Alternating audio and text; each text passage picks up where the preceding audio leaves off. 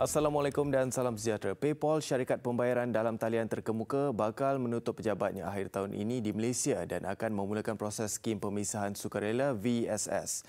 Katanya penyusunan semula dalaman itu bagaimanapun tidak akan menjejaskan pelanggannya di negara ini.